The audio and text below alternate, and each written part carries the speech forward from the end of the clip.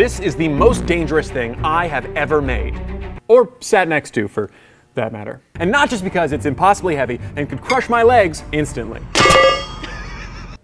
This is Sonic the Hedgehog, or rather it's a giant steel dimensionally accurate recreation of Sonic that we used to destroy a TV, a fridge, and a person standing. And all I had to do is get it spinning along the ground the speed of Sonic, which we'll get to in a second.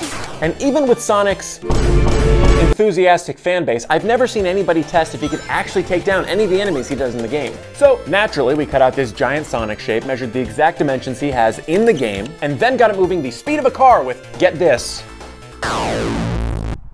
a car. Then I put some of my old junk in front of it, and then I ejected it off the spinning axle using the car's brakes, causing physics to do its thing, resulting in this. We also launched it at a refrigerator and a dummy full of explosive gas, which you can see on my channel in full. Unrelated, do you know fridges are super flammable?